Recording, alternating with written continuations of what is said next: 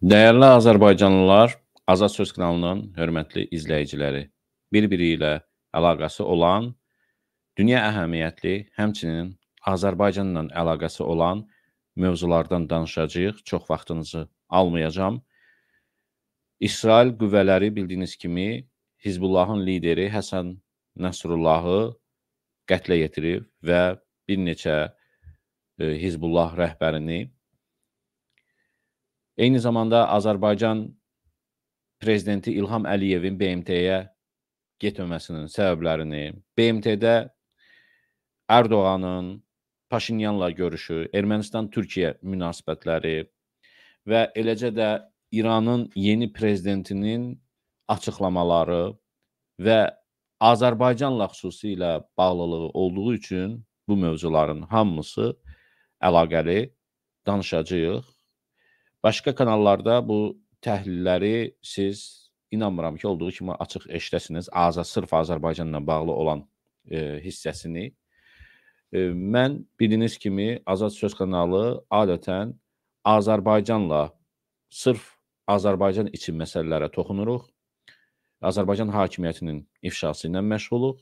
Ölkənin əhalisinin informasiya və doğru xəbərlə təmin edilməsi ilə çalışırıq. Lakin elə məsələlər var ki, dünyada baş verir, Azərbaycanla da əlaqəsi var. Ona görə də bu əhəmiyyətli mövzulara toxunmaq məcburiyyətindəyəm və danışırıq. Elə düşünülməsin ki, biz Azərbaycandan kənar mövzulardan danışa bilmirik, təhlillər apara bilmirik və yaxud informasiyanı verə bilmirik. Şəxsən mənim e, ixtisasım ərəbşünaslıqdır və bu mövzuları da çox gözəl bilirəm. Bu sahədə hətta dissertasiya yazmışam, elmi məqalələr də yazmışam. Azərbaycanda Elmlər Akademiyasında elmi işçi çalışarkən e, bu mövzuda e, mənim yazılarım da çox olubdu.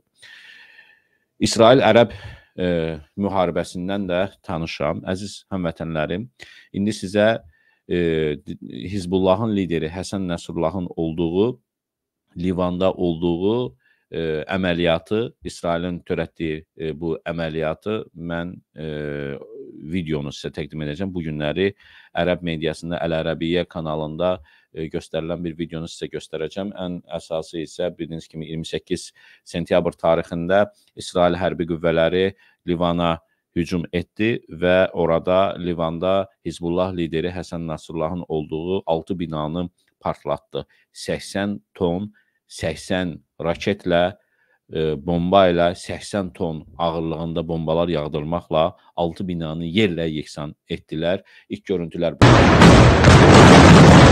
izləməm, izləmisiniz, izləməmisinizsə izləyin və təbii ki, bu e, məsələlərin Azərbaycanla əlaqəsində danışacağıq biz. Mən demirəm ki, sırf e, İsrailin e, hücumu Azərbaycanla birbaşa əlaqəlidir. Lakin bir onun xəbəri də çatdırım ki, e, Azərbaycan və İsrail arasında atıcı silahlar sahəsində əməkdaşlıq haqqında memorandum imzalanıbdır. E, bu haqqda az sonra danışacağıq. Detallı, dəqiq məlumatları da sizinlə bölüşəcəm. Bu günləri Əl-Ərəbiyyə kanalı İsrailin hücum planının necə baş verməsini göstərib e, bu e, Ərəb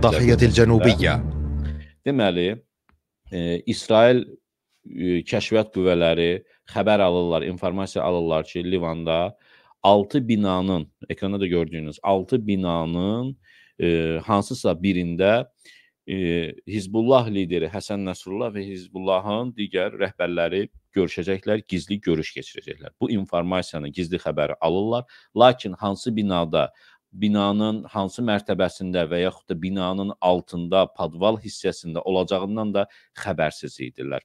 Və bu səbəbdən də İsrail hərbi qüvvələri təyyarələrini hazır edirlər və e, 6 binanın yerlə yeksan edilməsi tapşırığını verirlər. E, 80 ton deməli e, MK84 e, təyyarələri ilə, qırıcı təyyarələri ilə F-15 e, 80 bomba yağdırırlar və bildirilir ki, hər bir bomba da 1 ton ağırlığında olub və 6 binanın altısını da e, darmadağın eləyirlər və yerlə yeksan olur və sonradan da İsrail qüvvələri açıqlama verir ki, bəs e, Həsən Nəsrullah öldürülübdür və digər şəxslər də orada öldürülübdür e, və e, bir müddət bundan Hizbullah, İran və sairələri açıqlama verməyiblər, təsdiqləməyiblər xəbəri. Daha sonra isə təsdiqləmək məcburiyyətində olub Hizbullah və bu da gec təsdiqləməsinin səbəbləri də belə izah edilir ki, yəqin ki, orada Hizbullahın digər məsul şəxsləri də öldürülüb ki, açıqlama verməyə məsul şəxslər olmayıbdı. İndi görsənir ki, Hizbullah bundan sonra yenidən toparlanmağa çalışacaqdır. İran açıqlama verib və bildirib ki, bunun qisasını alacağıq. Biz qisas əməliyyatları həyata keçirəcəyik. Lakin e, görsənir ki, bu e, əvvəlki e, İranın əvvəlki açıqlamalarından biridir. Bundan əvvəl Qasım Süleymanı öldürüldü e, və e, İraqda öldürüldü. E, belə açıqlama verdilər. Heç bir şey olmadı. Yalnız e, Bağdadda bir İsrail güya səfirliyinə bir e, raket atıldı. Heç heç kəsin burnu belə qanamadı. Bu məsələ də ört-basdır edildi, üstündən keçildi. Ondan sonra bu ilin e, iyul ayının 31-də bildiyiniz kimi e, Həmasın e, siyasi qanadının e, lideri e, İsmail Haniyə Tehrana gəlmişdi. E, Tehranda İranın yeni prezidenti Məsud e, Pezeşkiyanın and içmə mərasimində iştirak edirdi. 31-də orada Tehranda öldürüldü. E, bu bu mövzuda toxunacağıq ki, İsmail Haniyə özü mühacirətdə yaşayırdı. Fələstində deyil, Həmasın tam başında deyil, Qatarda yaşayırdı. Və bu ayrı bir mövzudur ki, e, baxın İsrail illərdir onun kəşfiyyatında xəbərlər var idi ki, e, İsmail e, Haniyə Qatarda hansı e, yerlərə gedir və s. bundan yəni İranın içərisində kəşfiyyat məlumatlarını öyrənmək bir o qədər də çətin olardı, nəinki Qatarda öyrənmək. Amma İsrail e, bu əməliyyatı İsmail Haniyəyə qarşı olan e, sui-qəsd əməliyyatını heç vaxt Qatar kimi ölkələrdə, Türkiyə kimi ölkələrdə və sairələrində həyata keçirmir, keçirə bilməz. İran, İraq və Livan və Fələstin ərazilərində bu əməliyyatlarını həyata keçirir. E, bu təbii ki, bizim mövzu deyil. Yəni demək istədiyim odur ki, e, bunu mən nə ilə əlaqələndirmək istəyirəm? Azərbaycan hökuməti bizi e, Avropada öldürtməyə çalışır, amma e, o e, o da fikirləşir ki, e, Almaniya, Böyük Britaniya əgər biz öləriksə, terror hadisəsi bizə qarşı olarsa, bu Türkiyə deyil, orada məsəl üçün öldürdülər e, deməli Bayram Məmmədovu, keçmiş nidaçını, nə bilim Hüseyn Bakıxanov Gürcüstanda öldürüldü, Rusiyada birini öldürürlər, Ukraynada birini öldürürlər. Amma Avropa ölkələrində, bu cür ölkələrdə adam öldürmək, siyasi rəqiblərini qətlə yetirmək artıq bu böyük e, bir səsküyə səbəb, səbəb ola bilər iki ölkə arasında. Məsələn, Fransada Məhəmməd Mirzəlini öldürməyə çalışdılar, hələ öldürməyiblər. Məhz bu məsələ ona qarşı sui-qəsd məsələsi iki ölkə arasında bu Fransa ilə Azərbaycan arasında olan əlaqələrin pisləşməsində demirəm ki, ən əsas səbəb budur. Pisləşməsində səbəb olan məsələlərdən, səbəblərindən də biri də budur. Bunu Azərbaycan hökuməti çox gözəl bilir. Əlqərəz, e, İsmail Haniyənin öldürülməsindən sonra da İran bildirir ki, bunun qisasını alacağıq. Qisası alınmadı və üçüncü isə Hizbullahın lideri Həsən Nəsrullahın öldürülməsindən sonra İran da e, açıqlama verdi ki, bunun qisasını alacağıq e, və s. amma təbii ki, gözlənilən e, deyil. Bu e, sadəcə bir e, cavab verməkdir, sözdə cavab verməkdir.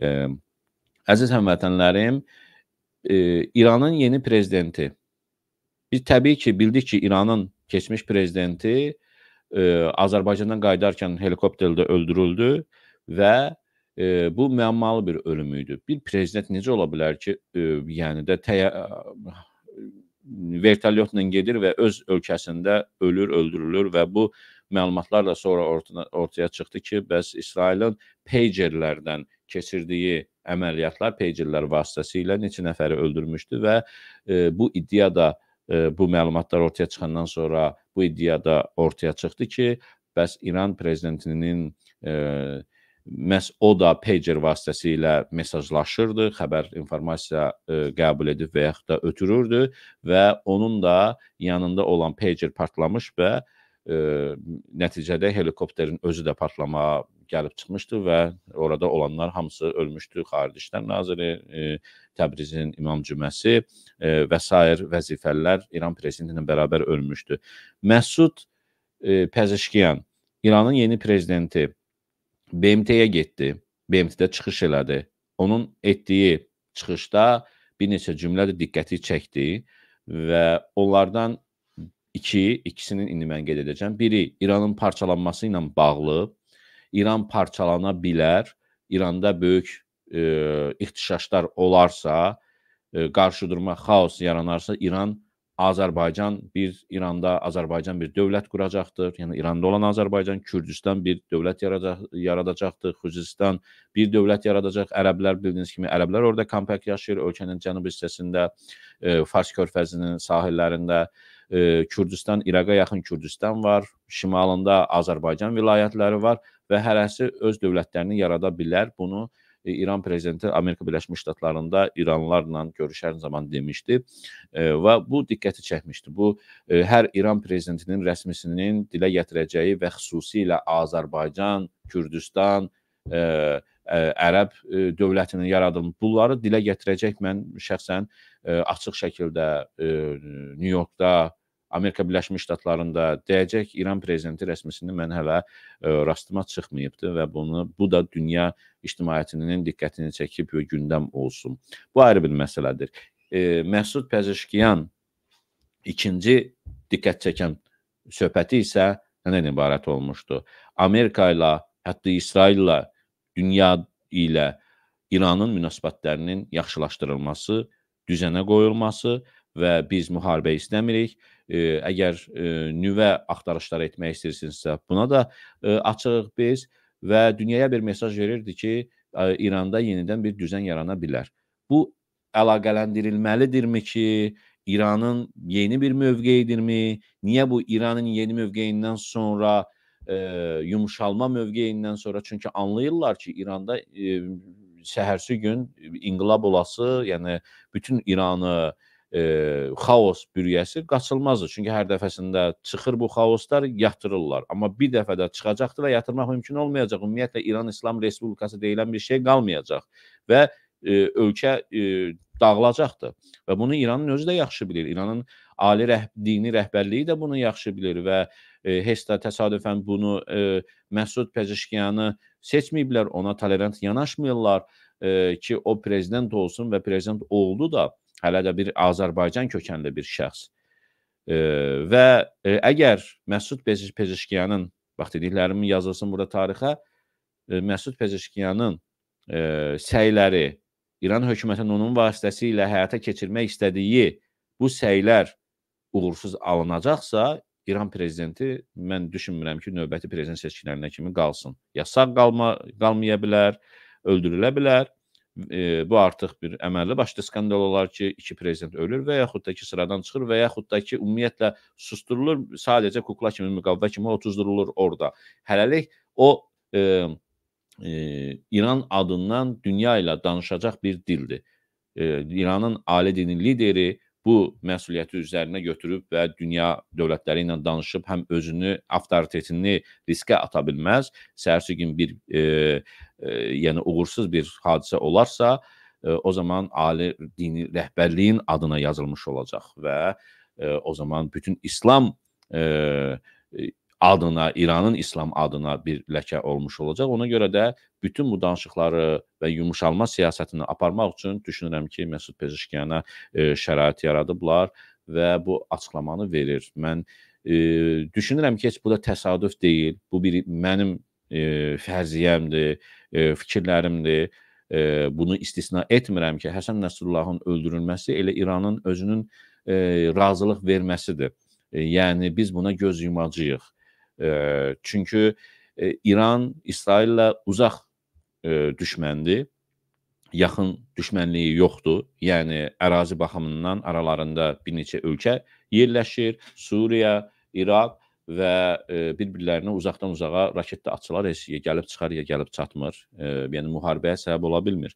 Lakin İsrailin ən çox yaxından qorxduğu və təhlükə hesab etdiyi Livanda e, olan Hizbullahdır və eyni zamanda da Fələstində olan Həmasdır e, və bunların ən çox narahatçılığı var və yaxında olan risklərini aradan götürmək istəyir. Bəlkə də İran və İsrail hansısa formada e, yəni bir-birindən e, anlaşırlar ki, biz İrana olan embargoları, hakimiyyəti dəyişdirmək cəhdləri, ümumiyyətlə İran İslam Respublikasını devirmək cəhdlərindən bu fikirlərdən və niyyət planlardan hələlik bizim əsas hədəfimiz deyil, olmayacaqdır və buna görə də Həsən Nəsrullah aradan götürülür Hizbullah və ən böyük əməliyyatlarda yenə də kimə edilir? Həmasa və e, Hizbullaha və Hizbullahın artıq ali din lideri e, yoxdur onun lideri yoxdur. E, deməli, e, Hizbullah nə vaxt yaranıb? Biraz keçmişinə qayıdaq.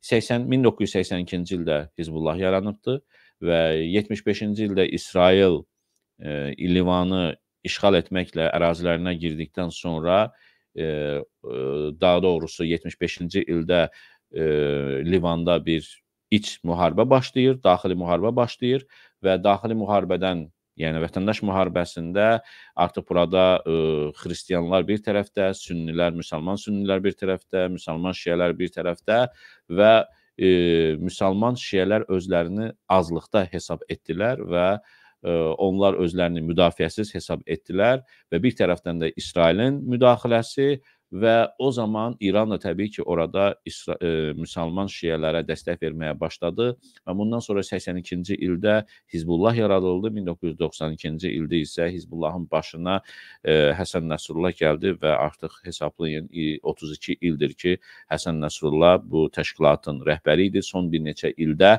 o ümumiyyətlə gizlənirdi, gizli həyat yaşayırdı, ictimaiyyət arasına çıxmırdı, videolarını çəkirdi və videoları e, yəni göndərirdi və o televiziyalarını Hizbullaha aid olan e, televiziyalarda yayımlanırdı. Yəni mesajlarını cəmiyyətə Hizbullah e, üzvlərinə və şiə Livanlı şiələrə belə çatdırırdı. Yəni gözünü çox gizli e, aparırdı və nəticədə e, İsrail onların yerini tapdı və daha doğrusu bəlkə də əvvəl bilirdi, sadəcə olaraq bu əməliyyatı keçirmirdi.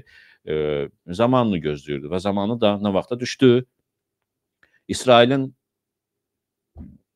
rəhbəri Benyamin Netanyahu Birləşmiş Millətlərdə Nyu-Yorkda çıxış edən ərəfələrdə, orada həmçinin Fələstin üzvləri də var idi, Livanlılar da var idi və bütün dünya Nyu-Yorka yerləş toplaşmışdı.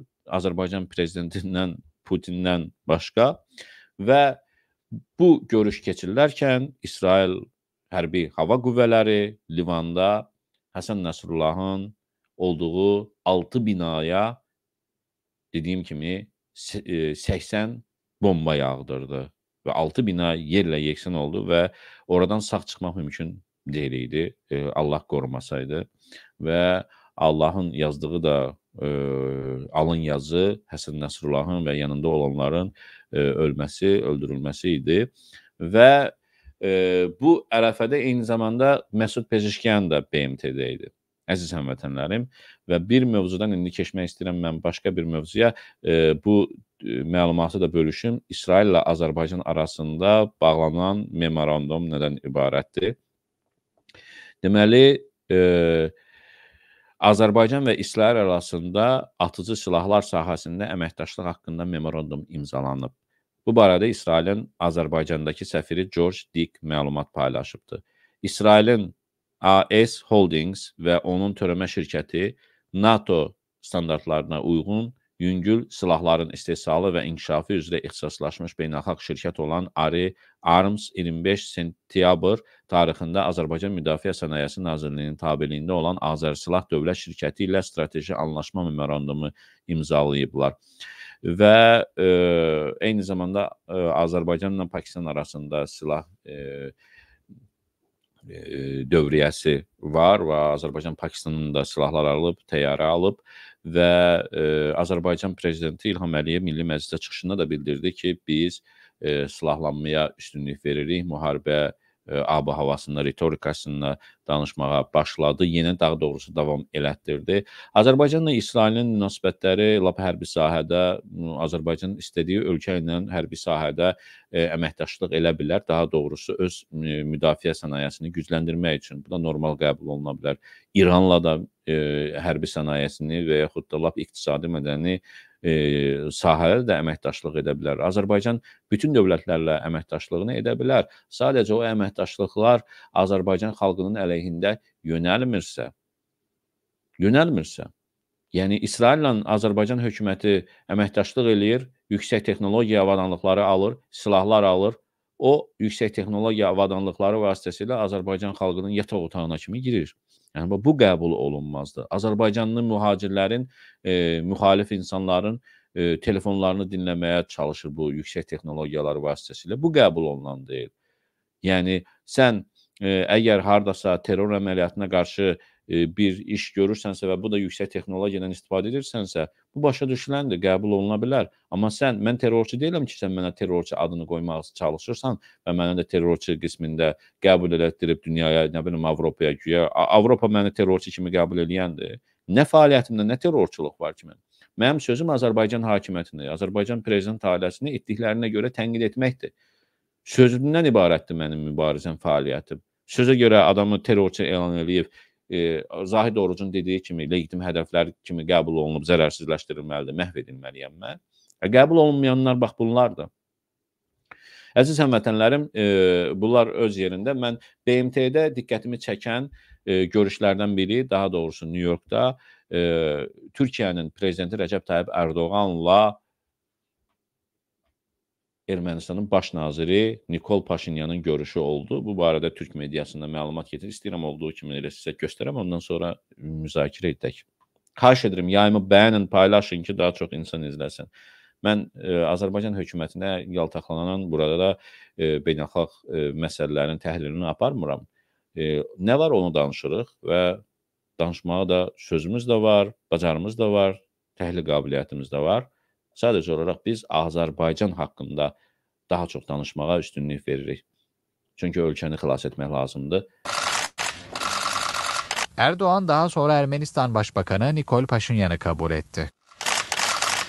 Görüşmede Türkiye ve Ermenistan arasındaki normalleşme, Ermenistan ve Azerbaycan arasındaki barış süreçleri ele alındı. Cumhurbaşkanı Erdoğan, Türkiye'nin Azerbaycan-Ermenistan arasında kalıcı barışın sağlanmasını ve yeni dönemde iki ülke arasında sağlam bir dostluğun tesis edilmesini desteklediğini söyledi. Bunu kolaylaştırmak için gayretlerin devam ettiğini ifade etti.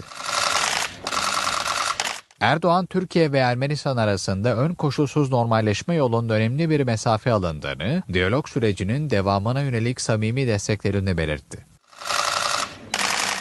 Cumhurbaşkanı Erdoğan, görüşmede Paşinyan'a daha adil bir dünya mümkün kitap Dəyərli dostlar, e, baxın, Paşinyanın həyat yoldaşı və ümumiyyətlə Paşinyanın e, müxtəlif sosial şəbəkələrdə özlərini elə sadə aparması barədə də mən bir-iki videonu göstərəcəm, diqqətə çatdıracağam. Amma bu e, Paşinyan və Ərdoğan görüşü və Rəcəb Tayyib Ərdoğan nə istəyir?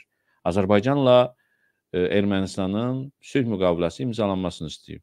Ərdoğan Türkiyə bu müharibə dövründə də 2020-ci ilin müharibəsində də, 2-ci Qarabağ müharibəsində də Azərbaycanın torpaqlarının işğaldan azad olunmasının tərəfdarı idi, buna çalışırdı. Azərbaycanın yanında olduğunu dəfələrlə deyirdi, dedi. Və bu müharibənin ümumiyyətlə bir dəfəlik bitməsinin tərəfdarıdır. Onun marağında odur. Ee, Azərbaycan və Ermənistan arasında həmişə dava olsun və bu davada mən istifadə edeyim, özümü böyük qardaş göstərim deyil. Rusiyanın mövqeyindən çıxış eləmir o.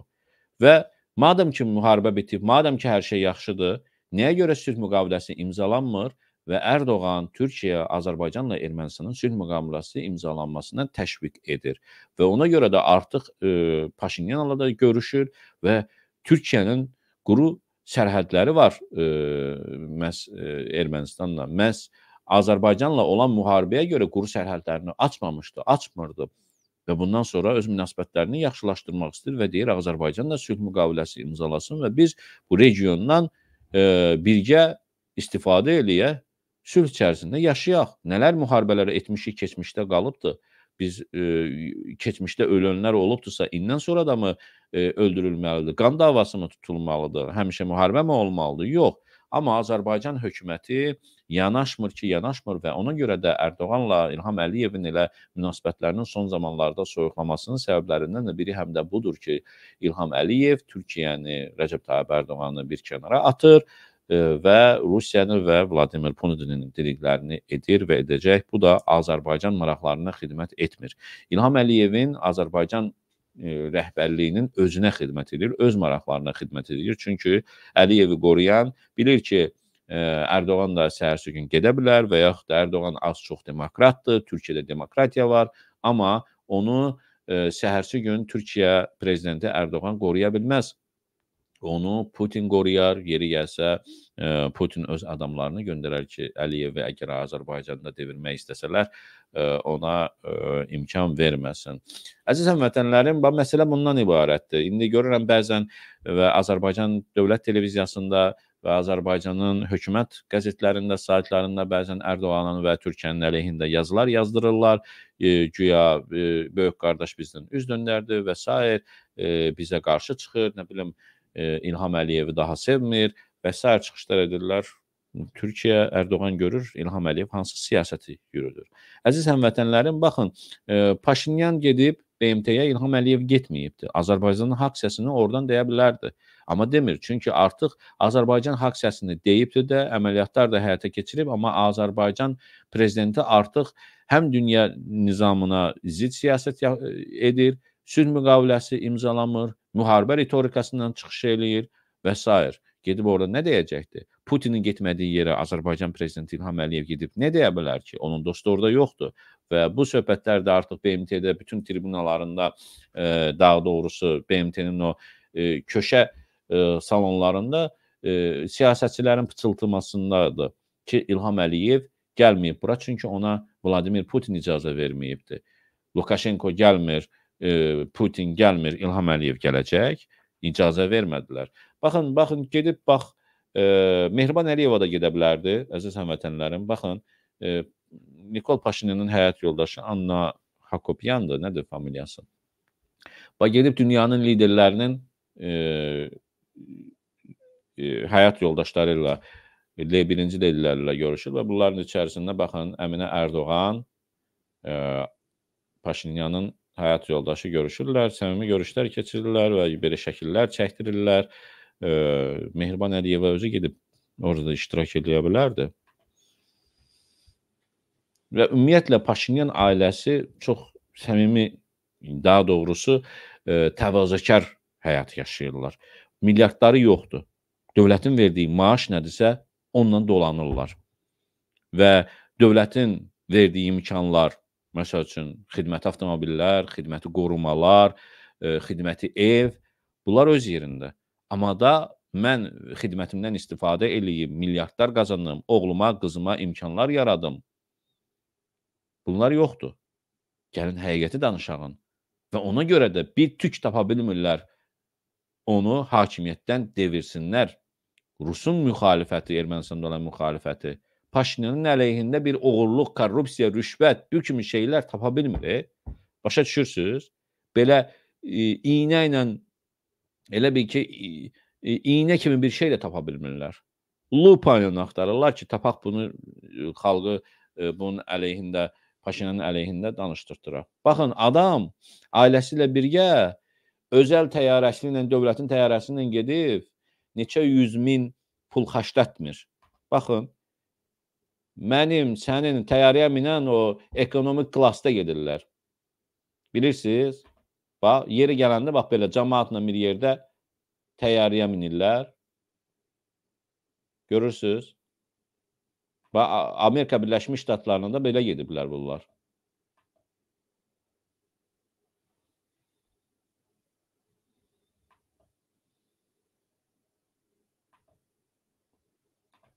Baxın.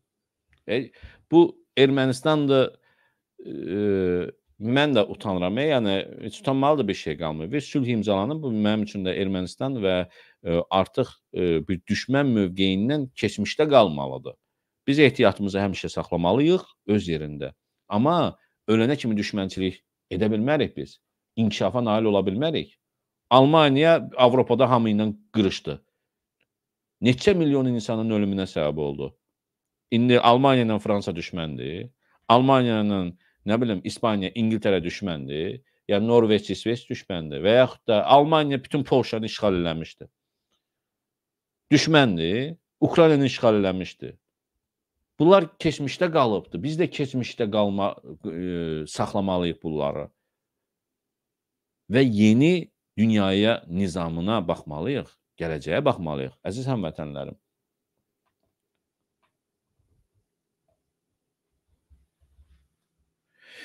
Dəyərli dostlar, e, Azərbaycan Ermənistanla sülh müqaviləsi imzalanmalıdır. Mən də bunun tərəfdarıyam. Allah Azərbaycanı qorusun. E, yeri gələndə dünyada baş verən hadisələri Azərbaycanın az da olsa əlaqəsi varsa, olacaqsa danışacağıq. Bizim mövzumuzda diqqətimizdə olacaqdır. Təşəkkür edirəm izlədiyiniz üçün minnətdaram.